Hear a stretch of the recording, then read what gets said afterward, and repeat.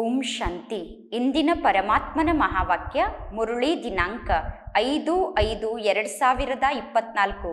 ಅವ್ಯಕ್ತ ಬಾಪ್ತಾದ ಮಧುಬನ ರಿವೈಸ್ ಹದಿನೈದು ಹನ್ನೊಂದು ತೊಂಬತ್ತೊಂಬತ್ತು. ಪರಮಾತ್ಮ ತಂದೆಯ ಸಮಾನ ಆಗಲು ಸಹಜ ಪುರುಷಾರ್ಥ ಅಂದರೆ ಆಜ್ಞಾಕಾರಿಗಳಾಗಿ ಆಜ್ಞಾಕಾರಿಗಳಾಗುವುದೇ. ಪರಮಾತ್ಮ ತಂದೆಯ ಸಮಾನ ಆಗಲು ಸಹಜ ಪುರುಷಾರ್ಥ ಆಗಿದೆ. ಇಂದು ಬಾಪ್ತಾದ ತಮ್ಮ ಪವಿತ್ರ ಹಂಸಗಳ ಸಭೆಯನ್ನು ನೋಡುತ್ತಿದ್ದಾರೆ.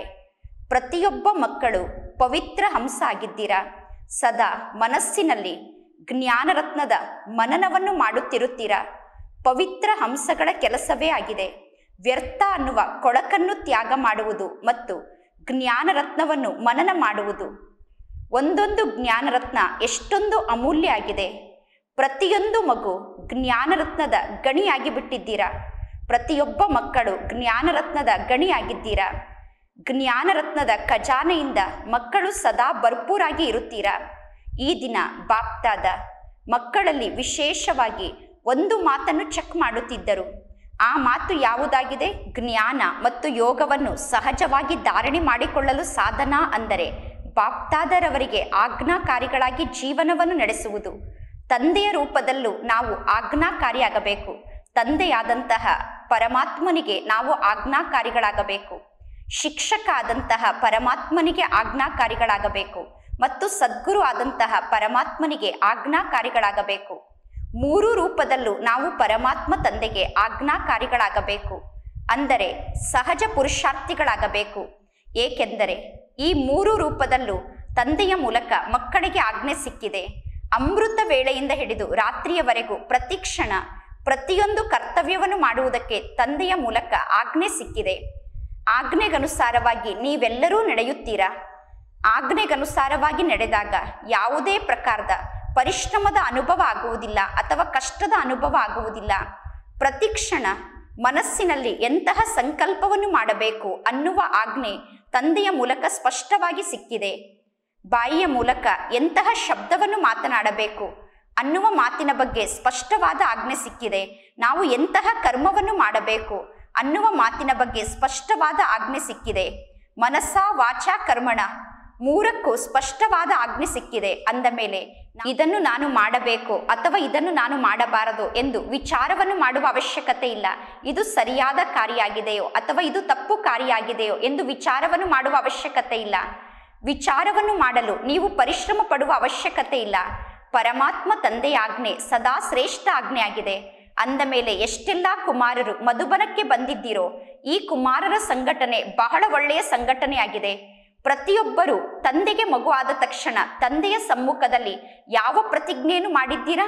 ಪರಮಾತ್ಮ ತಂದೆಗೆ ಮಕ್ಕಳಾದ ತಕ್ಷಣ ಮೊದಲು ಯಾವ ಪ್ರತಿಜ್ಞೆಯನ್ನು ಮಾಡಿದ್ದೀರಾ? ಬಾಬಾ, ನನ್ನ ಬಳಿ ಏನು ತನು ಇದೆ, ಮನಸ್ಸಿದೆ, ಧನ ಸಂಪತ್ತಿದೆ. ಅದ್ಯಾವುದೂ ನನ್ನದಲ್ಲ, ಅದೆಲ್ಲವೂ ನಿಮ್ಮದಾಗಿದೆ ಎಂದು ಪ್ರತಿಜ್ಞೆಯನ್ನು ಮಾಡಿದ್ದೀರಾ? ಹಾಗೆ ನೋಡಿದರೆ ಕುಮಾರರ ಬಳಿ ಬಹಳಷ್ಟು ಹಣ ಇರುವುದಿಲ್ಲ. ಇನ್ನು ಎಷ್ಟೆಲ್ಲ ಹಣ ಇದೆಯೋ, ಆ ಸಂಪೂರ್ಣ ಹಣ ನಿಮ್ಮದಾಗಿದೆ ಬಾಬಾ ಎಂದು ಪರಮಾತ್ಮ ತಂದೆಗೆ ಸಂಪೂರ್ಣ ಹಣವನ್ನು ಅರ್ಪಣೆ ಮಾಡಿ ತಂದೆಯ ಸಮ್ಮುಖದಲ್ಲಿ ಪ್ರತಿಜ್ಞೆಯನ್ನು ಮಾಡಿದ್ದೀರಾ? ತನು ಕೂಡ ನಿಮ್ಮದಾಗಿದೆ, ಮನಸ್ಸು ನಿಮ್ಮದಾಗಿದೆ, ಧನ ಸಂಪತ್ತು ನಿಮ್ಮದಾಗಿದೆ, ಸರ್ವ ಸಂಬಂಧವನ್ನು ನಿಮ್ಮ ಜೊತೆಗೆ ಜೋಡಣೆ ಮಾಡಿದ್ದೇನೆ ಎಂದು ಪಕ್ಕಾ ಪ್ರತಿಜ್ಞೆಯನ್ನು ಮಾಡಿದ್ದೀರಾ ತಾನೆ? ತನು, ಮನ, ಧನ, ಸಂಬಂಧ ಎಲ್ಲವೂ ಒಬ್ಬ ತಂದೆಯ ಜೊತೆಗೆ ಜೋಡಣೆ ಆದ ನಂತರ ನನ್ನದು ಎಂದು ಹೇಳಿಕೊಳ್ಳಲು ಏನು ಉಳಿಯಿತು? ಅಂದ ಮೇಲೆ, ನಿಮ್ಮ ಜೀವನದಲ್ಲಿ ಪುನಃ ಸ್ವಲ್ಪವಾದರೂ ನನ್ನತನ ಇದೇನು? ನನ್ನತನ ಉಳಿಯಲು ಸಾಧ್ಯ ಇದೇನು? ತನು, ಮನ, ಧನ, ಜನ ಸರ್ವಸ್ವವನ್ನು ಪರಮಾತ್ಮ ತಂದೆಗೆ ಅರ್ಪಣೆ ಮಾಡಿದ್ದೀರಾ ತಾನೆ? ಪ್ರವೃತ್ತಿಯವರು ಸರ್ವಸ್ವವನ್ನು ಪರಮಾತ್ಮ ತಂದೆಗೆ ಅರ್ಪಣೆ ಮಾಡಿದ್ದೀರಾ? ಮಧುಬನದವರು ಸರ್ವಸ್ವವನ್ನು ಪರಮಾತ್ಮ ತಂದೆಗೆ ಅರ್ಪಣೆ ಮಾಡಿದ್ದೀರಾ? ಪಕ್ಕಾ ರೂಪದಲ್ಲಿ ಅರ್ಪಣೆ ಮಾಡಿದ್ದೀರಾ ತಾನೆ? ಮನಸ್ಸು ಪರಮಾತ್ಮ ತಂದೆಯದ್ದಾಗಿದೆ ಅಂದ ಮೇಲೆ, ನನ್ನ ಮನಸ್ಸು ಎಂದು ಹೇಳಿಕೊಳ್ಳಲು ನನ್ನ ಬಳಿ ಮನಸ್ಸಿಲ್ಲ. ಅಥವಾ, ನನ್ನ ಮನಸ್ಸು ಎಂದು ಹೇಳುತ್ತೀರೇನು? ಮನಸ್ಸು ನನ್ನದು ಎಂದು ಹೇಳುತ್ತೀರೇನು? ಮನಸ್ಸನ್ನು ನನ್ನದು ಎಂದು ತಿಳಿದುಕೊಂಡು ಉಪಯೋಗ ಮಾಡುತ್ತೀರೇನು? ಮನಸ್ಸನ್ನು ಪರಮಾತ್ಮ ತಂದೆಗೆ ಅರ್ಪಣೆ ಮಾಡಿದ್ದೀರಾ ಅಂದ ಮೇಲೆ, ಈಗ ನಿಮ್ಮ ಬಳಿ ಯಾವ ಮನಸ್ಸಿದೆಯೋ ಆ ಮನಸ್ಸು ಪರಮಾತ್ಮ ತಂದೆ ನಿಮಗೆ ಕೊಟ್ಟಂತಹ ಉಡುಗೊರೆಯಾಗಿದೆ. ಅಂದ ಮೇಲೆ ಪುನಃ ನೀವೇಕೆ ಮನಸ್ಸಿನಲ್ಲಿ ಯುದ್ಧವನ್ನು ಮಾಡುತ್ತೀರಾ? ನನ್ನ ಮನಸ್ಸು ತೊಂದರೆಯ ಅನುಭವವನ್ನು ಮಾಡುತ್ತಿದೆ. ನನ್ನ ಮನಸ್ಸಿನಲ್ಲಿ ವ್ಯರ್ಥ ಸಂಕಲ್ಪ ನಡೆಯುತ್ತಿದೆ. ನನ್ನ ಮನಸ್ಸು ವಿಚಲಿತ ಆಗುತ್ತಿದೆ ಎಂದು ನೀವೇಕೆ ಸಂಕಲ್ಪವನ್ನು ಮಾಡುತ್ತೀರಾ? ಮನಸ್ಸು ನಿಮ್ಮದಲ್ಲ. ಮನಸ್ಸು ಪರಮಾತ್ಮ ತಂದೆ ನಮಗೆ ನೀಡಿರುವಂತಹ ಉಡುಗೊರೆಯಾಗಿದೆ. ಅಂದ ಮೇಲೆ ಪರಮಾತ್ಮ ತಂದೆ ಕೊಟ್ಟಂತಹ ಕೊಡುಗೆಯನ್ನು ನನ್ನದು ಎಂದು ತಿಳಿದುಕೊಂಡು ಉಪಯೋಗ ಮಾಡುವುದು ಕೂಡ. ಪರಮಾತ್ಮ ತಂದೆ ಕೊಟ್ಟಂತಹ ಕೊಡುಗೆಗೆ ಪರಮಾತ್ಮ ತಂದೆಗೆ ಮೋಸ ಮಾಡಿದಂತೆ ತಾನೆ? ಮಾಯೆ ಬರಲು ಬಾಗಿಲು ಅಂದರೆ ನಾನು ಮತ್ತು ನನ್ನದು ಅನ್ನುವುದಾಗಿದೆ. ಈ ತನು ಕೂಡ ನನ್ನದಲ್ಲ. ಅಂದ ಮೇಲೆ ದೇಹಾಭಿಮಾನದ ನಾನು ಅನ್ನುವ ಶಬ್ದ ಎಲ್ಲಿಂದ ಬಂತು? ಮನಸ್ಸು ಕೂಡ ನನ್ನದಲ್ಲ ಅಂದ ಮೇಲೆ, ನನ್ನದು ನನ್ನದು ಅನ್ನುವುದು ಎಲ್ಲಿಂದ ಬಂತು? ಎಲ್ಲವೂ ಪರಮಾತ್ಮ ತಂದೆಯದ್ದಾಗಿದೆಯೋ ಅಥವಾ ಎಲ್ಲವೂ ನನ್ನದ್ದಾಗಿದೆಯೋ? ಸರ್ವಸ್ವವು ಪರಮಾತ್ಮ ತಂದೆಯದ್ದಾಗಿದೆಯೋ ಅಥವಾ ಕೇವಲ ಬಾಯಿ ಮಾತಿಗೆ ಸರ್ವಸ್ವವು ಪರಮಾತ್ಮ ತಂದೆಯದ್ದು ಎಂದು ಹೇಳಿ ಕಾರ್ಯವನ್ನು ಮಾಡುವಾಗ ಸರ್ವಸ್ವವು ಪರಮಾತ್ಮ ತಂದೆಯದ್ದಾಗಿದೆ ಎಂದು ತಿಳಿದುಕೊಳ್ಳದೆ ಎಲ್ಲವೂ ನನ್ನದು ಎಂದು ತಿಳಿದುಕೊಂಡು ಕಾರ್ಯವನ್ನು ಮಾಡುತ್ತೀರೇನು? ಹೇಳುವಾಗ ಸರ್ವಸ್ವವು ಪರಮಾತ್ಮ ತಂದೆಯದ್ದು ಎಂದು ಹೇಳುವುದು, ಉಪಯೋಗ ಮಾಡುವಾಗ ಎಲ್ಲವೂ ನನ್ನದು ಎಂದು ತಿಳಿದುಕೊಳ್ಳುವುದು ಈ ರೀತಿ ಮಾಡುವುದಿಲ್ಲ ತಾನೆ? ಕೇವಲ ಮೊದಲನೇ ಪ್ರತಿಜ್ಞೆಯನ್ನು ನೆನಪಿನಲ್ಲಿ ಇಟ್ಟುಕೊಳ್ಳಿ. ದೇಹಾಭಿಮಾನದ ನಾನು ಮತ್ತು ನನ್ನದು ಅನ್ನುವುದು ನಮ್ಮ ಜೀವನದಲ್ಲಿ ಇರಬಾರದು. ಅಂದ ಮೇಲೆ ಪರಮಾತ್ಮ ತಂದೆಯ ಆಜ್ಞೆಯಾಗಿದೆ. ಈ ತನು ಪರಮಾತ್ಮ ತಂದೆ ಕೊಟ್ಟಂತಹ ಉಡುಗೊರೆ ಎಂದು ತಿಳಿದುಕೊಳ್ಳಿ. ಮನಸ್ಸು ಕೂಡ ತಂದೆ ಕೊಟ್ಟಂತಹ ಕೊಡುಗೆ ಎಂದು ತಿಳಿದುಕೊಳ್ಳಿ. ಪುನಃ ನೀವು ಪರಿಶ್ರಮವನ್ನು ಪಡುವ ಅವಶ್ಯಕತೆ ಇದೆಯೇನು ಯಾವಾಗ ಯಾವುದಾದರೂ ಒಂದು ದುರ್ಬಲತೆಗೆ ನಾವು ವಶ ಆಗುತ್ತೇವೋ ಆಗ ನಾನು ಮತ್ತು ನನ್ನದು ಅನ್ನುವ ಎರಡೂ ಸಂಕಲ್ಪ ಮನಸ್ಸಿನಲ್ಲಿ ನಡೆಯುತ್ತದೆ ಅಂದ ಮೇಲೆ ತನು ಕೂಡ ನನ್ನದಲ್ಲ. ದೇಹಾಭಿಮಾನದ ನಾನು ಅನ್ನುವ ಶಬ್ದ ನಮ್ಮ ಮನಸ್ಸಿನಲ್ಲಿ ಉತ್ಪನ್ನ ಆಗಬಾರದು. ಮನಸ್ಸಿನಲ್ಲಿ ಎಷ್ಟೆಲ್ಲ ಸಂಕಲ್ಪ ನಡೆಯುತ್ತದೆಯೋ ಆ ಸಂಕಲ್ಪಕ್ಕೋಸ್ಕರ ಪರಮಾತ್ಮ ತಂದೆ ನನಗೆ ಯಾವ ಆಜ್ಞೆಯನ್ನು ನೀಡಿದ್ದಾರೆ? ಪ್ರತಿ ಸಂಕಲ್ಪದಲ್ಲೂ ನಾನು ಪರಮಾತ್ಮ ತಂದೆಯ ಆಜ್ಞೆಯಂತೆ ನಡೆಯುತ್ತಿದ್ದೇನೆ ತಾನೆ. ತಂದೆಯ ಆಜ್ಞೆಯಂತೆ ನಾನು ಪ್ರತಿ ಸಂಕಲ್ಪವನ್ನು ಮಾಡುತ್ತಿದ್ದೇನಾ? ಪರಮಾತ್ಮ ತಂದೆ, ಸಕಾರಾತ್ಮಕ ವಿಚಾರವನ್ನು ಮಾಡಿ, ಶುಭ ಭಾವನೆಯನ್ನು ಇಟ್ಟುಕೊಂಡು ಶುಭ ಸಂಕಲ್ಪವನ್ನೇ ಮಾಡಿ ಎಂದು ನಮಗೆ ಆಜ್ಞೆಯನ್ನು ನೀಡಿದ್ದಾರೆ. ವ್ಯರ್ಥ ಸಂಕಲ್ಪವನ್ನು ಮಾಡಿ ಎಂದು ತಂದೆ ಮಕ್ಕಳಿಗೆ ಆಜ್ಞೆಯನ್ನು ಕೊಟ್ಟಿದ್ದಾರೇನೂ ಇಲ್ಲ. ಅಂದ ಮೇಲೆ, ಮನಸ್ಸು ನನ್ನದಲ್ಲ ಮನಸ್ಸು ನನ್ನದಲ್ಲ, ಮನಸ್ಸು ಪರಮಾತ್ಮ ತಂದೆಯದ್ದಾಗಿದೆ. ಪುನಃ ಮನಸ್ಸಿನಲ್ಲಿ ನೀವೇಕೆ ವ್ಯರ್ಥ ಸಂಕಲ್ಪವನ್ನು ಮಾಡುತ್ತೀರಾ? ತಂದೆಯ ಆಜ್ಞೆಯನ್ನು ನೀವೇಕೆ ಪ್ರತ್ಯಕ್ಷದಲ್ಲಿ ಧಾರಣೆ ಮಾಡಿಕೊಂಡಿಲ್ಲ? ಕೇವಲ ಒಂದು ಶಬ್ದವನ್ನು ನೆನಪಿನಲ್ಲಿ ಇಟ್ಟುಕೊಳ್ಳಿ. ನಾನು ಪರಮಾತ್ಮ ತಂದೆಗೆ ಆಜ್ಞಾಕಾರಿ ಮಗು ಆಗಿದ್ದೇನೆ ತಾನೆ. ಪರಮಾತ್ಮ ತಂದೆ ಈ ರೀತಿ ಆಜ್ಞೆಯನ್ನು ಕೊಟ್ಟಿದ್ದಾರೋ ಅಥವಾ ಇಲ್ಲವೋ ಎಂದು ವಿಚಾರವನ್ನು ಮಾಡಿ. ಯಾರು ಆಜ್ಞಾಕಾರಿ ಮಕ್ಕಳಾಗಿದ್ದಾರೋ ಅವರು ಸದಾ ಸ್ವತಃ ತಂದೆಯನ್ನು ನೆನಪು ಮಾಡುತ್ತಿರುತ್ತಾರೆ. ಆಜ್ಞಾಕಾರಿ ಮಕ್ಕಳಿಗೆ ಸದಾ ಸಹಜವಾಗಿ ಸ್ವತಃ ತಂದೆಯ ನೆನಪಿರುತ್ತದೆ. ಆಜ್ಞಾಕಾರಿ ಮಕ್ಕಳಿಗೆ ಸ್ವತಃ ತಂದೆಯ ಬಗ್ಗೆ ಪ್ರೀತಿ ಇರುತ್ತದೆ. ಆಜ್ಞಾಕಾರಿ ಮಕ್ಕಳು ಸ್ವತಃ ತಂದೆಯ ಸಮೀಪದಲ್ಲೇ ಇರುತ್ತಾರೆ. ಅಂದ ಮೇಲೆ ಚೆಕ್ ಮಾಡಿಕೊಳ್ಳಿ. ನಾನು ಪರಮಾತ್ಮ ತಂದೆಯ ಸಮೀಪದಲ್ಲಿ ಇದ್ದೇನಾ? ಪರಮಾತ್ಮ ತಂದೆಗೆ ಆಜ್ಞಾಕಾರಿಯಾಗಿದ್ದೇನಾ? ಒಂದು ಶಬ್ದವನ್ನು ಅಮೃತ ವೇಳೆಯಲ್ಲಿ ನೀವು ನೆನಪು ಮಾಡಬಹುದು. ನಾನು ಯಾರು ಅನ್ನುವ ಒಂದು ಶಬ್ದವನ್ನು ಅಮೃತ ವೇಳೆಯಲ್ಲಿ ನೆನಪು ಮಾಡಿಕೊಳ್ಳಿ. ನಾನು ಆಜ್ಞಾಕಾರಿ ಆಗಿದ್ದೇನೋ ಅಥವಾ ಕೆಲವೊಮ್ಮೆ ಆಜ್ಞಾಕಾರಿ, ಇನ್ನು ಕೆಲವೊಮ್ಮೆ ಆಜ್ಞೆಯನ್ನು ಉಲ್ಲಂಘನೆ ಮಾಡಿ, ಆಜ್ಞೆಯಿಂದ ದೂರ ಆಗುವಂತಹ ಆತ್ಮ ಆಗಿದ್ದೇನೋ ಎಂದು ಸ್ವಯಂವನ್ನು ಚೆಕ್ ಮಾಡಿಕೊಳ್ಳಿ. ಬಾಪ್ತಾದ ಸದಾ ಹೇಳುತ್ತಾರೆ, ಯಾವುದಾದರೂ ಒಂದು ರೂಪದಲ್ಲಿ ಒಂದು ವೇಳೆ ಒಬ್ಬ ತಂದೆಯ ಜೊತೆಗಿನ ಸಂಬಂಧ ಸದಾ ನೆನಪಿನಲ್ಲಿ ಇದ್ದರೆ, ಮನಸ್ಸಿನಿಂದ ಸದಾ ಬಾಬಾ ಅನ್ನುವ ಶಬ್ದ ಬರುತ್ತದೆ, ಆಗ ಸಮೀಪತೆಯ ಅನುಭವ ಆಗುತ್ತದೆ. ಯಾವಾಗ ಮನಸ್ಸಿನಿಂದ ಬಾಬಾ ಎನ್ನುವ ಶಬ್ದ ಬರುತ್ತದೆಯೋ, ಆಗ ತಂದೆಯ ಸಮೀಪದ ಅನುಭವ ಆಗುತ್ತದೆ. ಕೇವಲ ಮಂತ್ರದಂತೆ ಬಾಬಾ ಬಾಬಾ ಎಂದು ಹೇಳಬೇಡಿ. ಮಂತ್ರವನ್ನು ಉಚ್ಚಾರಣೆ ಮಾಡಿದಂತೆ ಬಾಬಾ ಬಾಬಾ ಅನ್ನುವ ಶಬ್ದವನ್ನು ಹೇಳಬಾರದು. ಜಗತ್ತಿನ ಜನ ರಾಮ ರಾಮ ಎಂದು ಹೇಳುತ್ತಾ ಮಂತ್ರವನ್ನು ಉಚ್ಚಾರಣೆ ಮಾಡುತ್ತಾರೆ. ಇಲ್ಲಿ ನೀವು ಬಾಬಾ ಬಾಬಾ ಎಂದು ಹೇಳುತ್ತೀರಾ? ಆದರೆ ಮನಪೂರ್ವಕವಾಗಿ ಬಾಬಾ ಅನ್ನುವ ಶಬ್ದ ಬರಬೇಕು. ಪ್ರತಿಯೊಂದು ಕರ್ಮವನ್ನು ಮಾಡುವಾಗ ಚೆಕ್ ಮಾಡಿಕೊಳ್ಳಿ. ಮನಸ್ಸಿಗೋಸ್ಕರ ತಂದೆಯ ಆಜ್ಞೆ ಏನಾಗಿದೆ?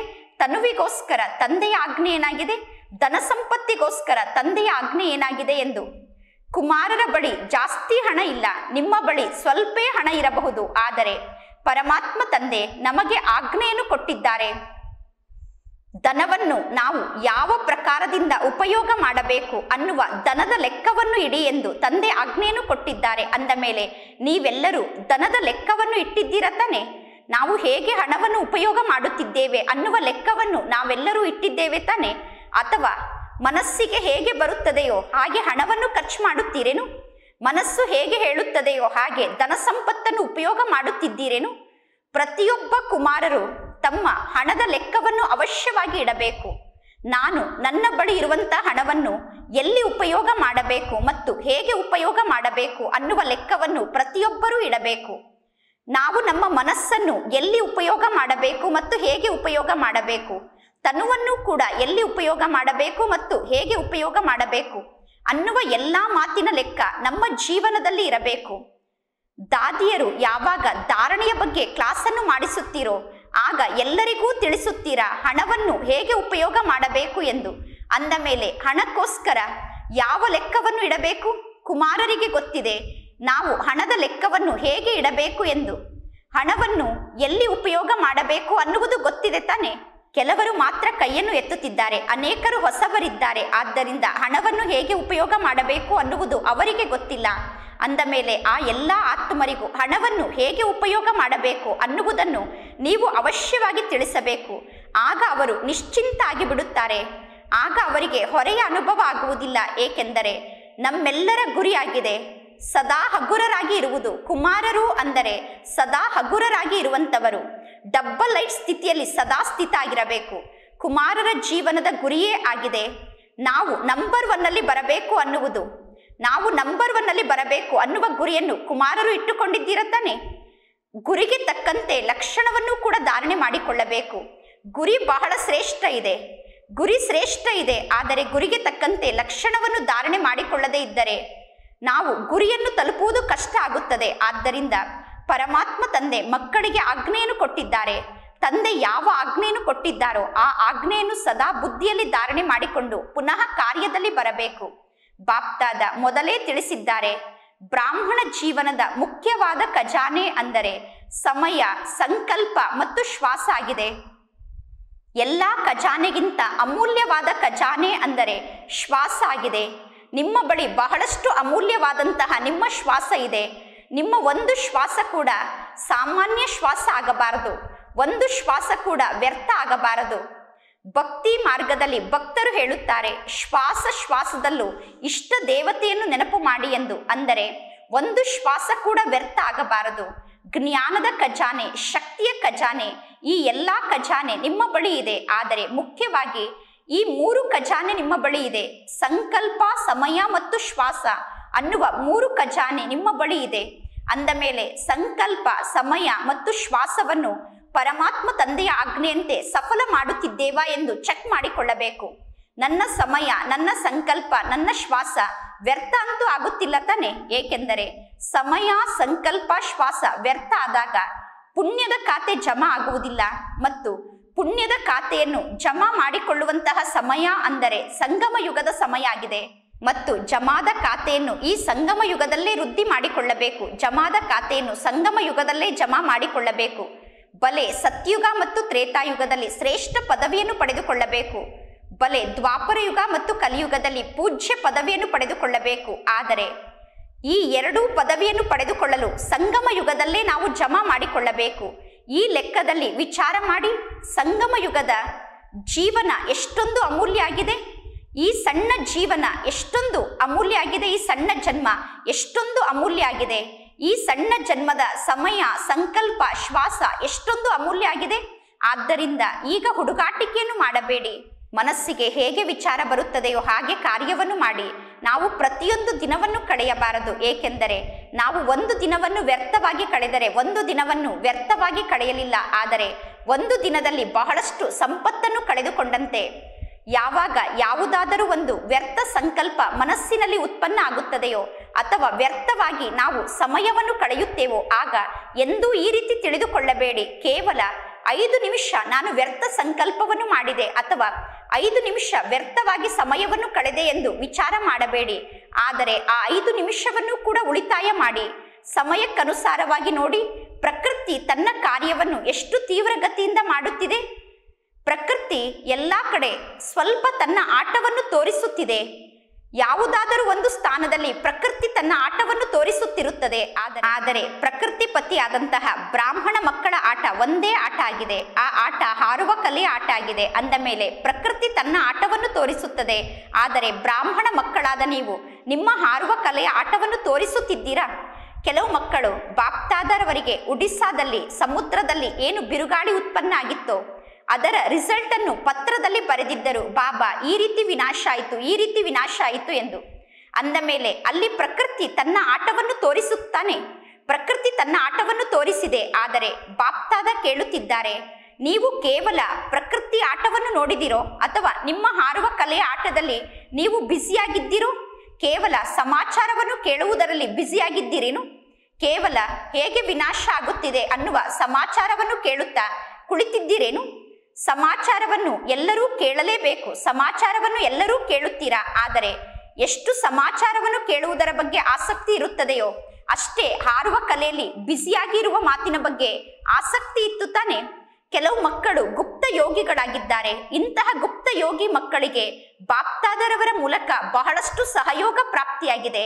ಮತ್ತು ಇಂತಹ ಮಕ್ಕಳು ಸ್ವಯಂ ಅಚಲ ಸ್ಥಿತಿಯಲ್ಲಿ ಸ್ಥಿತ ಆಗಿರುತ್ತಾರೆ ಸಾಕ್ಷಿ ಸ್ಥಿತಿಯಲ್ಲಿ ಸ್ಥಿತ ಆಗಿರುತ್ತಾರೆ ಮತ್ತು ಇಂತಹ ಮಕ್ಕಳು ಸ್ವಯಂ ಅಚಲ ಸ್ಥಿತಿಯಲ್ಲಿ ಸ್ಥಿತಾಗಿ, ಸಾಕ್ಷಿ ಸ್ಥಿತಿಯಲ್ಲಿ ಸ್ಥಿತಾಗಿ, ವಾತಾವರಣಕ್ಕೆ, ಸಮಯಕ್ಕೆ ಸರಿಯಾಗಿ ಸಹಯೋಗವನ್ನು ಕೊಟ್ಟಿದ್ದಾರೆ.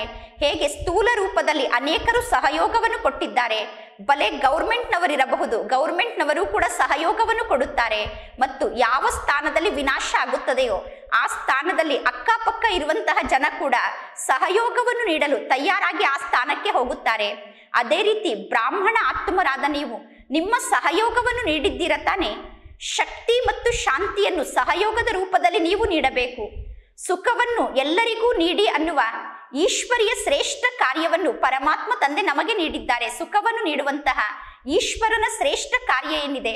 ಆ ಶ್ರೇಷ್ಠ ಕಾರ್ಯವನ್ನು ನೀವು ಮಾಡಿದ್ದೀರ ತಾನೆ? ಹೇಗೆ? ಆ ಗೌರ್ಮೆಂಟ್ನವರು ಈ ರೀತಿ ಸಹಯೋಗ ಕೊಟ್ಟರು, ಆ ರೀತಿ ಸಹಯೋಗ ಕೊಟ್ಟರು ಎಂದು ಹೇಳುತ್ತಾರೆ. ಇಂತಹ ದೇಶದವರು ಈ ರೀತಿ ಸಹಯೋಗ ಕೊಟ್ಟರು ಎಂದು ಹೇಳುತ್ತಾರೆ. ಯಾರು ಯಾವ ಸಹಯೋಗವನ್ನು ಕೊಡುತ್ತಾರೋ ಅದರ ಬಗ್ಗೆ ತಕ್ಷಣ ಅನೌನ್ಸ್ಮೆಂಟ್ ಅನ್ನು ಮಾಡುತ್ತಾರೆ. ಅಂದ ಮೇಲೆ ಬಾಪ್ತಾದ ಕೇಳುತ್ತಾರೆ, ಬ್ರಾಹ್ಮಣರಾದ ನೀವು ನಿಮ್ಮ ಕಾರ್ಯವನ್ನು ಮಾಡಿದ್ದೀರ ತಾನೆ? ಈಗ ನೀವೆಲ್ಲರೂ ಸರ್ವರಿಗೂ ಸಹಯೋಗವನ್ನು ಕೊಟ್ಟಿದ್ದೀರ ತಾನೆ? ನೀವು ಈಗ ಅಲರ್ಟ್ ಆಗಬೇಕು. ಸ್ಥೂಲ ರೂಪದಲ್ಲಿ ಸಹಯೋಗವನ್ನು ನೀಡುವಂತಹ ಅವಶ್ಯಕತೆ ಕೂಡ ಇದೆ. ಸ್ಥೂಲ ರೂಪದಲ್ಲೂ ಕೂಡ ಆ ಸ್ಥಾನದಲ್ಲಿರುವಂತಹ ಆತ್ಮರಿಗೆ ಸಹಯೋಗದ ಅವಶ್ಯಕತೆ ಇದೆ. ನೀವು ಸ್ಥೂಲ ರೂಪದಲ್ಲಿ ಸಹಯೋಗವನ್ನು ಕೊಡಬೇಡಿ ಎಂದು ತಂದೆ ಹೇಳುವುದಿಲ್ಲ. ಆದರೆ ಬ್ರಾಹ್ಮಣ ಆತ್ಮರ ವಿಶೇಷ ಕಾರ್ಯ ಅಂದರೆ ಯಾವ ಸಹಯೋಗವನ್ನು ಅನ್ಯರು ನೀಡಲು ಸಾಧ್ಯ ಇಲ್ಲವೋ ಅಂತಹ ಸಹಯೋಗವನ್ನು ಅಲರ್ಟ್ ಆಗಿ ನೀವೆಲ್ಲರೂ ನೀಡಿದ್ದೀರ ತಾನೆ? ಇಂತಹ ಸಹಯೋಗವನ್ನು ನೀವೆಲ್ಲರೂ ಅಲರ್ಟ್ ಆಗಿ ಕೊಟ್ಟಿದ್ದೀರ ತಾನೆ? ಅಲರ್ಟ್ ಆಗಿ ಇಂತಹ ಸಹಯೋಗವನ್ನು ಕೊಡಬೇಕು. ಕೇವಲ ಆ ಸ್ಥಾನದಲ್ಲಿರುವ ಆತ್ಮರಿಗೆ ಬಟ್ಟೆಯನ್ನು ಕೊಟ್ಟೆವು, ಆಹಾರ ಧಾನ್ಯವನ್ನು ಕೊಟ್ಟೆವು ಅಂದರೆ ಸಾಕಾಗುವುದಿಲ್ಲ. ಮೊದಲು ಅವರ ಮನಸ್ಸಿಗೆ ಶಾಂತಿ ಬೇಕು, ಅವರಿಗೆ ಎದುರಿಸುವಂತಹ ಶಕ್ತಿ ಬೇಕು. ಅಂದ ಮೇಲೆ ಸ್ಥೂಲ ರೂಪದಲ್ಲಿ ಸಹಯೋಗವನ್ನು ಕೊಡುವುದರ ಜೊತೆಗೆ ಬ್ರಾಹ್ಮಣರಾದ ನೀವು ಮಾತ್ರ ಸೂಕ್ಷ್ಮ ರೂಪದಲ್ಲಿ ಸಹಯೋಗವನ್ನು ಕೊಡಲು ಸಾಧ್ಯ. ನಿಮ್ಮನ್ನು ಬಿಟ್ಟು ಬೇರೆ ಯಾರು ಸೂಕ್ಷ್ಮ ರೂಪದಲ್ಲಿ ಸಹಯೋಗವನ್ನು ಕೊಡಲು ಸಾಧ್ಯ ಇಲ್ಲ. ಅಂದ ಮೇಲೆ ಪರಮಾತ್ಮ ತಂದೆ ತಿಳಿಸುತ್ತಾರೆ, ಈಗ ನೀವು ಯಾವ ವಿನಾಶದ ದೃಶ್ಯವನ್ನು ನೋಡುತ್ತಿದ್ದೀರೋ ಅದೇನು ದೊಡ್ಡ ಮಾತಲ್ಲ, ಇದು ಕೇವಲ ರಿಹರ್ಸಲ್ ಆಗಿದೆ ಅಂತ್ಯದಲ್ಲಿ ಸತ್ಯವಾಗಿಯೂ ದೊಡ್ಡ ರೂಪದಲ್ಲಿ ವಿನಾಶ ನಡೆಯುತ್ತದೆ. ಈಗ ಈ ವಿನಾಶದ ರಿಹರ್ಸಲ್ ಅನ್ನು ಪರಮಾತ್ಮ ತಂದೆ ನಿಮಗೆ ತೋರಿಸುತ್ತಿದ್ದಾರೆ ಅಥವಾ ಸಮಯ ವಿನಾಶದ ರಿಹರ್ಸಲ್ ಅನ್ನು ನಿಮಗೆ ತೋರಿಸುತ್ತಿದೆ ಅಂದ ಮೇಲೆ ನಿಮ್ಮ ಬಳಿ ಎಷ್ಟೆಲ್ಲ ಶಕ್ತಿ ಇದೆಯೋ, ನಿಮ್ಮ ಬಳಿ ಎಷ್ಟೆಲ್ಲ ಖಜಾನೆ ಇದೆಯೋ ಸಮಯಕ್ಕೆ ಸರಿಯಾಗಿ ಅದನ್ನು ಉಪಯೋಗ ಮಾಡಲು ನಿಮಗೆ ಬರುತ್ತದೆ ತಾನೆ. ಕುಮಾರರು ಏನನ್ನು ಮಾಡುತ್ತೀರಾ? ಶಕ್ತಿಯನ್ನು ಜಮಾ ಮಾಡಿಕೊಂಡಿದ್ದೀರಾ? ಶಾಂತಿಯ ಶಕ್ತಿಯನ್ನು ಜಮಾ ಮಾಡಿಕೊಂಡಿದ್ದೀರಾ? ಶಕ್ತಿಯನ್ನು ಉಪಯೋಗ ಮಾಡಲು ಬರುತ್ತದೆ ತಾನೆ. ಮಕ್ಕಳು ಬಹಳ ಚೆನ್ನಾಗಿ ಕೈಯನ್ನು ಎತ್ತುತ್ತೀರಾ? ಈಗ ಪ್ರತ್ಯಕ್ಷದಲ್ಲಿ ಮಾಡಿ ತೋರಿಸಬೇಕು, ಸಾಕ್ಷಿಯಾಗಿ ಎಲ್ಲವನ್ನೂ ನೋಡಬೇಕು, ಸಾಕ್ಷಿಯಾಗಿ ಎಲ್ಲಾ ಮಾತನ್ನು ಕೇಳಬೇಕು ಮತ್ತು ಸಹಯೋಗವನ್ನು ಕೂಡ ಕೊಡಬೇಕು. ಕೊನೆಗೂ ಒಂದು ದಿನ ಸತ್ಯವಾಗಿಯೂ ಯಾವಾಗ ವಿನಾಶದ ಪಾತ್ರ ನಡೆಯುತ್ತದೆಯೋ ಆ ಸಮಯದಲ್ಲಿ ನೀವು ಸಾಕ್ಷಿಯಾಗಿ ಎಲ್ಲಾ ದೃಶ್ಯವನ್ನು ನೋಡಬೇಕು ಮತ್ತು ನಿರ್ಭಯರಾಗಿ ಎಲ್ಲಾ ದೃಶ್ಯವನ್ನು ನೋಡಬೇಕು ಮತ್ತು ನೀವು ಎಲ್ಲರಿಗೂ ಸಹಯೋಗವನ್ನು ನೀಡುವಂತಹ ಪಾತ್ರವನ್ನು ಅಭಿನಯ ಮಾಡಬೇಕು. ಯಾವ ಪಾತ್ರವನ್ನು ನೀವು ಸಾಕ್ಷಿಯಾಗಿ ಅಭಿನಯ ಮಾಡಬೇಕು? ನೀವು ದಾತ ತಂದೆಗೆ ಮಕ್ಕಳಾಗಿದ್ದೀರಾ? ಅಂದ ಮೇಲೆ ದಾತಾಗೆ, ಆತ್ಮರಿಗೆ ಯಾವ ಪ್ರಾಪ್ತಿಯ ಅವಶ್ಯಕತೆ ಇದೆಯೋ ಆ ಪ್ರಾಪ್ತಿಯನ್ನು ನೀಡುತ್ತಿರಬೇಕು. ಅಂದ ಮೇಲೆ, ನೀವೆಲ್ಲರೂ ಮಾಸ್ಟರ್ ದಾತ ಆಗಿದ್ದೀರ ತಾನೆ? ಸ್ಟಾಕ್ ಅನ್ನು ಜಮಾ ಮಾಡಿಕೊಳ್ಳಿ. ನಿಮ್ಮ ಬಳಿ ಎಷ್ಟು ಸ್ಟಾಕ್ ಜಾಸ್ತಿ ಜಮಾ ಇರುತ್ತದೆಯೋ ಅಷ್ಟು ದಾತಾಗಿ ಅನ್ಯರಿಗೆ ನೀಡಲು ಸಾಧ್ಯ ಆಗುತ್ತದೆ. ಅಂತ್ಯದವರೆಗೂ ನೀವು ಸ್ವಯಂಗೋಸ್ಕರ ಸ್ಟಾಕನ್ನು ಜಮಾ ಮಾಡಿಕೊಳ್ಳುತ್ತಿದ್ದರೆ ನೀವು ದಾತ ಆಗಲು ಸಾಧ್ಯ ಆಗುವುದಿಲ್ಲ. ಅನೇಕ ಜನ್ಮಗಳಿಗೋಸ್ಕರ ಶ್ರೇಷ್ಠ ಪದವಿಯನ್ನು ಪಡೆದುಕೊಳ್ಳಬೇಕು ಎಂದು ಬಯಸುತ್ತೀರಾ? ಒಂದು ವೇಳೆ ಅಂತ್ಯದವರೆಗೂ ನೀವು ಜಮಾ ಮಾಡಿಕೊಳ್ಳುತ್ತಿದ್ದರೆ ನೀವು ಅನೇಕ ಜನ್ಮಕ್ಕೋಸ್ಕರ ಶ್ರೇಷ್ಠ ಪದವಿಯನ್ನು ಪಡೆದುಕೊಳ್ಳಲು ಸಾಧ್ಯ ಆಗುವುದಿಲ್ಲ. ಆದ್ದರಿಂದ ಈ ಒಂದು ಮಾತಿನಲ್ಲಿ ನಿಮ್ಮ ಬಳಿ ಸ್ಟಾಕನ್ನು ಜಮಾ ಮಾಡಿಕೊಳ್ಳಿ. ಶುಭ ಭಾವನೆ. ಶ್ರೇಷ್ಠ ಕಾಮನೆಯ ಭಂಡಾರ ಸದಾ ನಿಮ್ಮ ಬಳಿ ಭರ್ಪೂರಾಗಿರಬೇಕು. ಇನ್ನು ಎಷ್ಟೆಲ್ಲ ವಿಶೇಷ ಶಕ್ತಿ ಇದೆಯೋ ಆ ಶಕ್ತಿಯನ್ನು ಯಾವ ಸಮಯದಲ್ಲಿ ಯಾರಿಗೆ ನೀಡಬೇಕೋ ಅವರಿಗೆ ಆ ಶಕ್ತಿಯನ್ನು ನೀಡಲು ನಿಮಗೆ ಸಾಧ್ಯ ಆಗಬೇಕು. ಯಾವ ಸಮಯದಲ್ಲಿ ಯಾರಿಗೆ ಯಾವ ಶಕ್ತಿ ಅವಶ್ಯಕತೆ ಇದೆಯೋ ಆ ಸಮಯದಲ್ಲಿ ಆ ಆತ್ಮಕ್ಕೆ ಆ ಶಕ್ತಿಯನ್ನು ನೀಡಲು ನಿಮಗೆ ಸಾಧ್ಯ ಆಗಬೇಕು. ಈಗ ಸಮಯಕ್ಕನುಸಾರವಾಗಿ ಕೇವಲ ಸ್ವಯಂನ ಪುರುಷಾರ್ಥದಲ್ಲಿ ನೀವು ಸಮಯ ಮತ್ತು ಸಂಕಲ್ಪವನ್ನು ಬಳಸುವುದಲ್ಲ, ಸ್ವಯಂನ ಪುರುಷಾರ್ಥಕ್ಕೋಸ್ಕರ. ಸಮಯ ಮತ್ತು ಸಂಕಲ್ಪವನ್ನು ಬಳಸುವುದರ ಜೊತೆ ಜೊತೆಗೆ ದಾತಾಗಿ ಇಡೀ ವಿಶ್ವಕ್ಕೆ ಸಹಯೋಗವನ್ನು ನೀಡಬೇಕು. ಅಂದ ಮೇಲೆ ನಿಮ್ಮ ಪುರುಷಾರ್ಥದ ಬಗ್ಗೆ ತಂದೆ ನಿಮಗೆ ತಿಳಿಸಿದ್ದಾರೆ. ಅಮೃತ ವೇಳೆಯಲ್ಲೇ ವಿಚಾರ ಮಾಡಿ, ನಾನು ಆಜ್ಞಾಕಾರಿ ಮಗು ಆಗಿದ್ದೇನೆ ತಾನೆ. ಈ ದಿನ ಸ್ವಯಂನ ಪುರುಷಾರ್ಥಕ್ಕೋಸ್ಕರ ತಂದೆ ತಿಳಿಸಿದ್ದಾರೆ, ನಾನು ಆಜ್ಞಾಕಾರಿ ಮಗು ಆಗಿದ್ದೇನಾ ಎಂದು ಅಮೃತ ವೇಳೆಯಲ್ಲೇ ವಿಚಾರ ಮಾಡಿ. ಪ್ರತಿ ಕರ್ಮಕ್ಕೋಸ್ಕರ ತಂದೆಯ ಮೂಲಕ ಆಜ್ಞೆ ಸಿಕ್ಕಿದೆ. ನಾವು ಬೆಳಗ್ಗೆ ಹೇಗೆ ಏಳಬೇಕು, ಹೇಗೆ ಮಲಗಬೇಕು, ಹೇಗೆ ಊಟ ಮಾಡಬೇಕು, ಹೇಗೆ ಕರ್ಮಯೋಗಿ ಆಗಬೇಕು ಅನ್ನುವ ಪ್ರತಿಯೊಂದು ಕರ್ಮಕ್ಕೂ ತಂದೆಯ ಆಜ್ಞೆ ಸಿಕ್ಕಿದೆ. ಆಜ್ಞಾಕಾರಿ ಆಗುವುದೇ ತಂದೆಯ ಸಮಾನ ಆಗುವುದಾಗಿದೆ. ಕೇವಲ ತಂದೆಯ ಶ್ರೀಮತದಂತೆ ನಡೆಯಬೇಕು. ಮನ್ಮತದಂತೆ ನಡೆಯಬಾರದು ಪರಮತದಂತೆ ನಡೆಯಬಾರದು. ಮನ್ಮತ ಅಥವಾ ಪರಮತವನ್ನು ಶ್ರೀಮತದಲ್ಲಿ ಸೇರಿಸಿಕೊಳ್ಳಬಾರದು. ಕೆಲವೊಮ್ಮೆ ಮನ್ಮತದಂತೆ ನಡೆಯುತ್ತೀರಾ? ಕೆಲವೊಮ್ಮೆ ಪರಮತದಂತೆ ನಡೆಯುತ್ತೀರಾ? ಆಗ ಪರಿಶ್ರಮವನ್ನು ಪಡಬೇಕಾಗುತ್ತದೆ. ಆಗ ಸಹಜವಾಗಿ ಪುರುಷಾರ್ಥದ ಮಾರ್ಗದಲ್ಲಿ ಮುಂದೆ ಹೋಗಲು ಸಾಧ್ಯ ಆಗುವುದಿಲ್ಲ. ಏಕೆಂದರೆ ಮನ್ಮತ ಮತ್ತು ಪರಮತ ಹಾರಲು ಬಿಡುವುದಿಲ್ಲ. ಮನ್ಮತ ಮತ್ತು ಪರಮತದ ಹೊರೆಯನ್ನು ಹೊತ್ತುಕೊಂಡಂತಹ ಆತ್ಮರು ಹೊರೆಯನ್ನು ಹೊತ್ತುಕೊಂಡಿರುವ ಕಾರಣ ಹಾರಲು ಅವರಿಗೆ ಸಾಧ್ಯ ಆಗುವುದಿಲ್ಲ. ಮನ್ಮತ ಮತ್ತು ಪರಮತದ ಹೊರೆ ಯಾರ ತಲೆಯ ಮೇಲಿರುತ್ತದೆಯೋ, ಆ ಹೊರೆ ಅವರಿಗೆ ಹಾರಲು ಬಿಡುವುದಿಲ್ಲ. ಶ್ರೀಮತ ನಮ್ಮನ್ನು ಡಬ್ಬಲ್ ಲೈಟ್ ಅನ್ನಾಗಿ ಮಾಡುತ್ತದೆ. ಅಂದ ಮೇಲೆ ಶ್ರೀಮತದಂತೆ ನಡೆಯಬೇಕು. ಅಂದರೆ ಶ್ರೀಮತದಂತೆ ನಡೆದಾಗ ಸಹಜವಾಗಿ ತಂದೆಯ ಸಮಾನ ಆಗುತ್ತೇವೆ. ಶ್ರೀಮತದಂತೆ ನಡೆಯುವುದು ಅಂದರೆ ಸಹಜವಾಗಿ ತಂದೆಯ ಸಮಾನ ಆಗುವುದಾಗಿದೆ. ಶ್ರೀಮತದಂತೆ ನಡೆಯುವಂತಹ ಆತ್ಮರು ಎಂದು ಯಾವ ಪರಿಸ್ಥಿತಿಯನ್ನು ನೋಡಿ ಏರುಪೇರಿನಲ್ಲಿ ಬರಲು ಸಾಧ್ಯ ಇಲ್ಲ. ಶ್ರೀಮತದಂತೆ ನಡೆಯುವಂತಹ ಮಕ್ಕಳನ್ನು ಯಾವ ಪರಿಸ್ಥಿತಿಯು ಕೆಳಗಡೆ ಕರೆದುಕೊಂಡು ಬರಲು ಸಾಧ್ಯ ಇಲ್ಲ. ಅಂದ ಮೇಲೆ ಶ್ರೀಮತದಂತೆ ನಡೆಯಲು ನಿಮಗೆ ಬರುತ್ತದೆ ತಾನೆ. ಒಳ್ಳೆಯದು. ಕುಮಾರರು, ಈಗ ಏನನ್ನು ಮಾಡುತ್ತೀರಾ? ಕುಮಾರರಿಗೆ ಮಧುಬನದಿಂದ ನಿಮಂತ್ರಣ ಬಂದಿತ್ತು. ಮಧುಬನದಲ್ಲಿ ಕುಮಾರರಿಗೆ ವಿಶೇಷವಾಗಿ ಪಾಲನೆಯನ್ನು ನೀಡಲಾಯಿತು. ನೋಡಿ, ನೀವೆಲ್ಲರೂ ಎಷ್ಟು ಮುದ್ದಿನ ಮಕ್ಕಳಾಗಿದ್ದೀರಾ? ಈಗ ಮುಂದೆ ಏನನ್ನು ಮಾಡುತ್ತೀರಾ? ತಂದೆಯ ಪಾಲನೆಗೆ ರೆಸ್ಪಾಂಡನ್ನು ಕೊಡುತ್ತೀರಾ ತಾನೆ? ಮಧುಬನದಿಂದ ವಾಪಸ್ ಹೋದ ತಕ್ಷಣ ಲೌಕಿಕದವರಂತೆ ಆಗಿ ಬಿಡುತ್ತೀರೇನು ಮಧುಬನಕ್ಕೆ ಬಂದಾಗ ಮಧುಬನದವರಂತೆ ಜೀವನವನ್ನು ನಡೆಸುವುದು, ವಾಪಸ್ ಹೋದ ತಕ್ಷಣ ಲೌಕಿಕದವರಂತೆ ಆಗುವುದು ಈ ರೀತಿ ಮಾಡುವುದಿಲ್ಲ ತಾನೆ? ಈ ರೀತಿ ನೀವು ಜೀವನವನ್ನು ನಡೆಸುವುದಿಲ್ಲ ತಾನೆ ಮಧುಬನದಲ್ಲಿ? ಬಹಳಷ್ಟು ಖುಷಿಯಲ್ಲಿ ಇದ್ದೀರಾ? ಮಾಯೆಯ ದಾಳಿಯಿಂದ ಸುರಕ್ಷಿತರಾಗಿದ್ದೀರಾ? ಮಧುಬನದಲ್ಲೂ ಕೂಡ ನನ್ನ ಬಳಿ ಮಾಯೆ ಬಂತು ಎಂದು ಹೇಳುವವರು ಯಾರೂ ಇಲ್ಲ ತಾನೆ? ಯಾರಾದರೂ ಇದ್ದೀರೇನು? ಕೆಲವರು ಇದ್ದೀರೇನು? ಮಧುಬನದಲ್ಲೂ ಕೂಡ ನಾನು ಪರಿಶ್ರಮವನ್ನು ಪಡಬೇಕಾಯಿತು ಎಂದು ಹೇಳುವವರು ಯಾರಾದರೂ ಇದ್ದೀರೇನು? ಮಧುಬನದಲ್ಲಿ ಯಾರೂ ಪರಿಶ್ರಮವನ್ನು ಪಡುವ ಅವಶ್ಯಕತೆ ಇಲ್ಲ ಅಂದ ಮೇಲೆ ಮಧುಬನದಲ್ಲಿ ಸುರಕ್ಷಿತರಾಗಿದ್ದೀರಾ ಒಳ್ಳೆಯದು. ಬಾಪ್ತಾದ ಖುಷಿ ಪಡುತ್ತಾರೆ. ಈಗ ಇಂತಹ ಸಮಯ ಬರುತ್ತದೆ. ಆಗ ಯುವಕರ ಗ್ರೂಪ್ನ ಮೇಲೆ ಗೌರ್ಮೆಂಟ್ನವರ ಗಮನ ಕೂಡ ಹೋಗುತ್ತದೆ. ಆದರೆ ಯಾವಾಗ ನೀವು ವಿಘ್ನ ವಿನಾಶಕರಾಗುತ್ತೀರೋ, ಆಗ ಗೌರ್ಮೆಂಟ್ನ ಗಮನ ನಿಮ್ಮ ಕಡೆ ಬರುತ್ತದೆ. ವಿಘ್ನ ವಿನಾಶಕ ಅನ್ನುವುದು ಯಾರ ಹೆಸರಾಗಿದೆ? ವಿಘ್ನ ವಿನಾಶಕ ಅನ್ನುವುದು ನಿಮ್ಮೆಲ್ಲರ ಹೆಸರಾಗಿದೆ ತಾನೆ? ವಿಘ್ನಕ್ಕೆ ನಿಮ್ಮ ಸಮ್ಮುಖಕ್ಕೆ ಬರಲು ಸಾಹಸವೇ ಇಲ್ಲ. ಯಾವ ಕುಮಾರರನ್ನು ಎದುರಿಸುವಷ್ಟು ಸಾಹಸ ವಿಘ್ನಕ್ಕೆ ಇಲ್ಲ. ಆದ್ದರಿಂದ ನಿಮಗೆ ವಿಘ್ನ ವಿನಾಶಕರು ಎಂದು ಕರೆಯಲಾಗುತ್ತದೆ. ವಿಘ್ನ ಬಲೆ ಸೋಲಲಿ, ಆದರೆ ವಿಘ್ನ ನಿಮ್ಮ ಮೇಲೆ ದಾಳಿಯನ್ನು ಮಾಡಲು ಸಾಧ್ಯ ಆಗಬಾರದು. ವಿಘ್ನ ವಿನಾಶಕರಾಗುವಂತಹ ಸಾಹಸ ನಿಮ್ಮಲ್ಲಿ ಇದೆ ತಾನೆ? ಅಥವಾ ಪುನಃ ವಾಪಸ್ ಮನೆಗೆ ಹೋದ ನಂತರ ದಾದಿಗೆ ಪತ್ರವನ್ನು ಬರೆಯುವುದಿಲ್ಲ ತಾನೆ? ದಾದಿ, ಮಧುಬನದಲ್ಲಿ ನಾನು ಬಹಳ ಚೆನ್ನಾಗಿದ್ದೆ. ಇಲ್ಲಿಗೆ ಬಂದ ಮೇಲೆ ನನಗೆ ಏನಾಯಿತೋ ಗೊತ್ತಿಲ್ಲ ಎಂದು ಪತ್ರವನ್ನು ಬರೆಯುವುದಿಲ್ಲ ತಾನೆ? ಕೇವಲ ಖುಷಿಯ ಸಮಾಚಾರವನ್ನು ಬರೆಯಿರಿ. ನಾನು ಓಕೆ ಆಗಿದ್ದೇನೆ ಅಂದರೆ ನಾನು ಚೆನ್ನಾಗಿದ್ದೇನೆ. ನಾನು ವೆರಿ ಗುಡ್ ಆಗಿದ್ದೇನೆ. ನನ್ನ ಜೀವನದಲ್ಲಿ ಎಲ್ಲವೂ ಚೆನ್ನಾಗಿ ನಡೆಯುತ್ತಿದೆ. ನಾನು ವಿಘ್ನ ವಿನಾಶಕ ಆಗಿದ್ದೇನೆ ಅನ್ನುವ ಶಬ್ದವನ್ನು ಪತ್ರದಲ್ಲಿ ಬರೆಯಿರಿ. ಬಹಳ ಉದ್ದವಾದ ಪತ್ರವನ್ನು ಬರೆಯಬೇಡಿ. ಓಕೆ ಅನ್ನುವ ಒಂದು ಶಬ್ದವನ್ನು ಪತ್ರದಲ್ಲಿ ಬರೆಯಿರಿ. ಒಳ್ಳೆಯದು. ಮಧುಬನದವರ ವಿಶೇಷತೆಯನ್ನು ನೋಡಿ. ಮಧುಬನದವರ ವಿಶೇಷತೆ ಬಾಪ್ತಾದರವರ ಬಳಿ ಬಂದು ತಲುಪಿದೆ.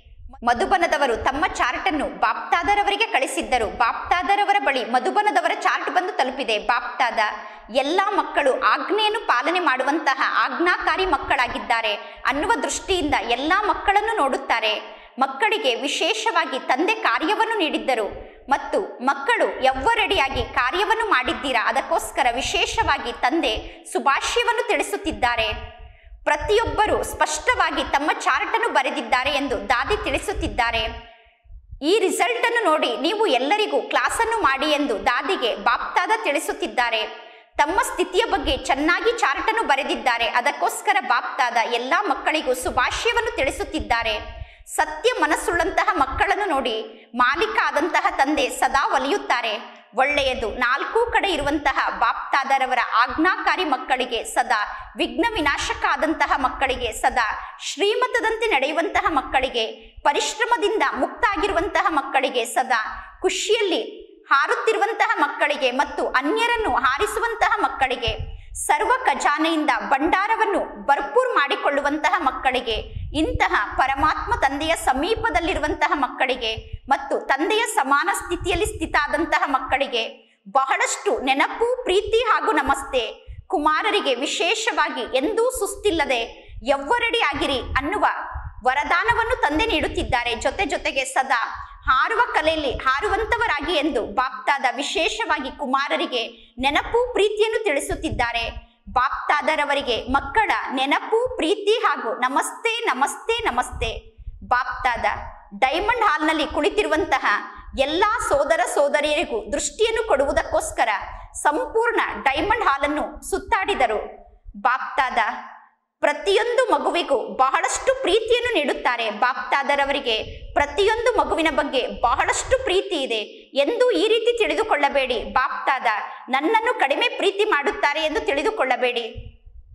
ಬಾಪ್ತಾದರವರಿಗೆ ನನ್ನ ಬಗ್ಗೆ ಕಡಿಮೆ ಪ್ರೀತಿ ಇದೆ ಎಂದು ಎಂದೂ ತಿಳಿದುಕೊಳ್ಳಬೇಡಿ. ಬಲೆ, ನೀವು ಪರಮಾತ್ಮ ತಂದೆಯನ್ನು ಮರೆಯಬಹುದು. ಆದರೆ ಪರಮಾತ್ಮ ತಂದೆ ನಿರಂತರ ಪ್ರತಿಯೊಂದು ಮಗುವಿನ ಮಾಲೆಯನ್ನು ಜಪ ಮಾಡುತ್ತಿರುತ್ತಾರೆ. ಏಕೆಂದರೆ ಬಾಪ್ತಾದ ಪ್ರತಿಯೊಂದು ಮಗುವಿನ ವಿಶೇಷತೆಯನ್ನು ನೋಡುತ್ತಾರೆ. ಬಾಪ್ತಾದರವರ ಸಮ್ಮುಖದಲ್ಲಿ ಪ್ರತಿಯೊಂದು ಮಗುವಿನ ವಿಶೇಷತೆ ಸದಾ ಕಾಣಿಸುತ್ತಿರುತ್ತದೆ. ಒಂದು ವಿಶೇಷತೆ ಇಲ್ಲದೆ ಇರುವಂತಹ ಯಾವ ಮಕ್ಕಳು ಇಲ್ಲಿ ಇರಲು ಸಾಧ್ಯ ಇಲ್ಲ. ಪ್ರತಿಯೊಂದು ಮಗು ವಿಶೇಷ ಮಗು ಆಗಿದೆ. ಆದರೆ ಮಕ್ಕಳು ಪರಮಾತ್ಮ ತಂದೆಯನ್ನು ಕೆಲವೊಮ್ಮೆ ಮರೆಯುತ್ತಾರೆ. ತಂದೆ ಎಂದೂ ಕೂಡ ಒಂದು ಮಗುವನ್ನು ಮರೆಯುವುದಿಲ್ಲ. ಅಂದ ಮೇಲೆ ನೀವೆಲ್ಲರೂ ಸ್ವಯಂವನ್ನು ಸದಾ ನಾನು ವಿಶೇಷ ಆತ್ಮ ಆಗಿದ್ದೇನೆ ಮತ್ತು ವಿಶೇಷ ಕಾರ್ಯಕ್ಕೆ ನಿಮಿತ್ತ ಆಗಿದ್ದೇನೆ ಎಂದು ತಿಳಿದುಕೊಂಡು ಪುರುಷಾರ್ಥದ ಮಾರ್ಗದಲ್ಲಿ ಮುಂದೆ ಹೋಗಿ ಒಳ್ಳೆಯದು. ಇಂದಿನ ವರದಾನ ಆಗಿದೆ ಸದಾ ಆತ್ಮಿಕ ಸ್ಥಿತಿಯಲ್ಲಿ ಸ್ಥಿತಾಗಿ. ಅನ್ಯರನ್ನು ಆತ್ಮದ ದೃಷ್ಟಿಯಿಂದ ನೋಡುವಂತಹ ಆತ್ಮಿಕ ಗುಲಾಬಿಗಳಾಗಿ. ಆತ್ಮಿಕ ಗುಲಾಬಿ ಅಂದರೆ ಯಾರಲ್ಲಿ? ಸದಾ ಆತ್ಮಿಕ ಸುಗಂಧ ಇರುತ್ತದೆಯೋ ಅವರೇ ಆತ್ಮಿಕ ಗುಲಾಬಿ ಆಗಿದ್ದಾರೆ ಆತ್ಮಿಕ ಸುಗಂಧ ಉಳ್ಳಂತವರು ಎಲ್ಲಿ ನೋಡಿದರೂ ಕೂಡ, ಯಾರನ್ನು ನೋಡಿದರೂ ಕೂಡ ಎಲ್ಲರ ಭ್ರುಕುಟಿಯ ಮಧ್ಯದಲ್ಲೂ ಅವರು ಆತ್ಮವನ್ನೇ ನೋಡುತ್ತಾರೆ. ಆತ್ಮಿಕ ಗುಲಾಬಿಗಳು ಎಂದೂ ಶರೀರವನ್ನು ನೋಡುವುದಿಲ್ಲ. ಅಂದ ಮೇಲೆ ಸ್ವಯಂವನ್ನು ಸದಾ ಆತ್ಮಿಕ ಸ್ಥಿತಿಯಲ್ಲಿ ನೀವು ಸ್ಥಿತ ಮಾಡಿಕೊಳ್ಳಬೇಕು. ಸ್ವಯಂ ಸದಾ ಆತ್ಮಿಕ ಸ್ಥಿತಿಯಲ್ಲಿ ಸ್ಥಿತ ಆಗಿರಬೇಕು ಮತ್ತು ಅನ್ಯರನ್ನು ಆತ್ಮದ ರೂಪದಲ್ಲೇ ನೋಡಬೇಕು. ಹೇಗೆ ಪರಮಾತ್ಮ ತಂದೆ ಸರ್ವಶ್ರೇಷ್ಠ ತಂದೆಯಾಗಿದ್ದಾರೋ, ಅದೇ ರೀತಿ ಪರಮಾತ್ಮ ತಂದೆ ಈ ಹೂದೋಟ ಕೂಡ ಸರ್ವಶ್ರೇಷ್ಠ ಹೂದೋಟ ಆಗಿದೆ. ಈ ಹೂದೋಟದ ವಿಶೇಷ ಶೃಂಗಾರ ಅಂದರೆ ಆತ್ಮಿಕ ಗುಲಾಬಿಗಳಾದ ನೀವೆಲ್ಲರೂ ಆಗಿದ್ದೀರಾ, ಮಕ್ಕಳಾದ ನೀವು ಈ ಹೂದೋಟದ ವಿಶೇಷ ಶೃಂಗಾರ ಆಗಿದ್ದೀರಾ? ನಿಮ್ಮ ಆತ್ಮಿಕ ಸುಗಂಧ ಅನೇಕ ಆತ್ಮರ ಕಲ್ಯಾಣವನ್ನು ಮಾಡುತ್ತದೆ. ನೀವು ಆತ್ಮಿಕ ಸುಗಂಧ ಉಳ್ಳಂತಹ ಆತ್ಮರಾಗಿದ್ದೀರಾ, ನೀವು ಅನೇಕ ಆತ್ಮರ ಕಲ್ಯಾಣಕ್ಕೆ ನಿಮಿತ್ತ ಆಗಿದ್ದೀರಾ ಇಂದಿನ ಶ್ಲೋಗನ್ ಆಗಿದೆ ಮರ್ಯಾದೆಯನ್ನು ಬಿಟ್ಟು ಯಾರಿಗಾದರೂ ಸುಖವನ್ನು ಕೊಟ್ಟರೆ ಅದು ಕೂಡ ದುಃಖದ ಖಾತೆಯಲ್ಲಿ ಜಮಾ ಆಗುತ್ತದೆ. ನಾವು ಅನ್ಯರಿಗೆ ಸುಖವನ್ನು ಕೊಡುವುದಾದರೆ ಈಶ್ವರನ ಶ್ರೀಮತದಂತೆ ನಡೆದು ಈಶ್ವರನ ಮರ್ಯಾದೆಯ ರೇಖೆಯ ಒಳಗಡೆ ಇದ್ದು ಅನ್ಯರಿಗೆ ಸುಖವನ್ನು ಕೊಡಬೇಕು. ಒಂದು ವೇಳೆ ಅನ್ಯರಿಗೆ ಸುಖವನ್ನು ಕೊಡುವುದಕ್ಕೋಸ್ಕರ ಈಶ್ವರನ ಮರ್ಯಾದೆಯನ್ನು ಉಲ್ಲಂಘನೆ ಮಾಡಿಬಿಟ್ಟರೆ ನಾವು ಅನ್ಯರಿಗೆ ಸುಖವನ್ನು ಕೊಟ್ಟರೂ ಕೂಡ ಆ ಸುಖ ನಮ್ಮ ದುಃಖದ ಖಾತೆಯಲ್ಲಿ ಜಮಾ ಆಗುತ್ತದೆ. ಆಗ ನಮ್ಮ ಜೀವನದಲ್ಲಿ ದುಃಖ ಜಾಸ್ತಿ ಆಗುತ್ತದೆ. ಆದ್ದರಿಂದ ಶ್ರೀಮತವನ್ನು ಉಲ್ಲಂಘನೆ ಮಾಡಿ ಯಾರಿಗೂ ಸುಖವನ್ನು ಕೊಡಬಾರದು. ಒಳ್ಳೆಯದು. ಓಂ ಶಾಂತಿ.